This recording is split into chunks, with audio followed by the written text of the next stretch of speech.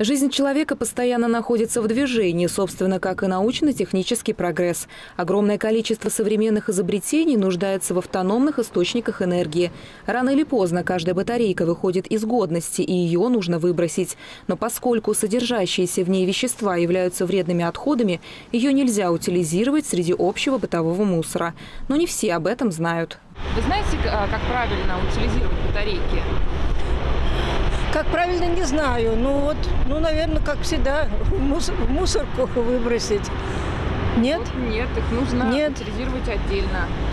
Совсем отдельно. И отдельно контейнер.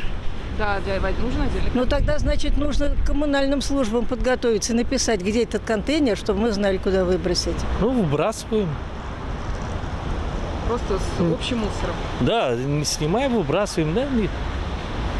А вы знаете, что их нельзя выбрасывать? Нет, первый раз слышу. Ты знаешь, как правильно выбрасывать батарейки? Ну, их надо утилизировать в а, каких-либо местах, ну, в специальных местах надо отдавать или... В общем, их нельзя выбрасывать, они излучают какую-то энергию. Я, ну, просто складываю их в определенное место, потом а, а, сдаю куда-то. Батарейки? Ну, вообще-то в урну. А вы знаете, что их надо отдельно? Да, надо. Ну, у нас их как практически мало, почти не пользуемся батарейками. Ну, когда будет, куда? Это же должна быть какая-то там емкость какая-то, куда их кидать. Пока у нас этого нету. Содержание в батарейках тяжелых металлов, таких как литий, кадмий, свинец, делают их утилизацию вместе с обычным мусором крайне вредным для окружающей среды. Так одна батарейка, попадая в грунт, загрязняет не только его, но и воду. Если же рассматривать случай мусоросжигательных заводов, то здесь картина также нерадостная. Токсичные отходы и примеси тяжелых металлов напрямую загрязняют атмосферу. В рамках защиты окружающей среды районный совет депутатов организовал акцию, направленную на правильную утилизацию батареек.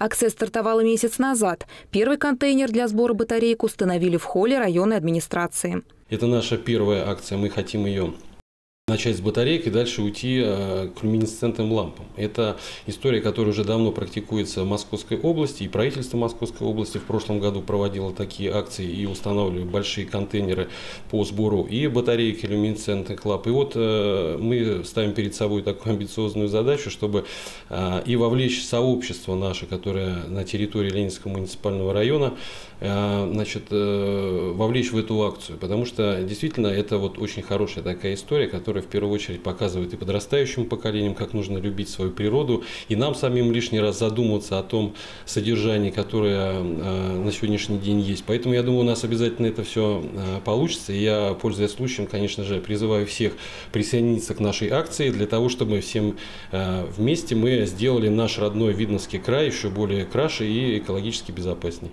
Мы приглашаем всех начать утилизировать батарейки правильно. Вместе мы сделаем больше для природы родного края. Наталья Буслаева, Алексей Иванов, Елена Кошлева, Видное ТВ.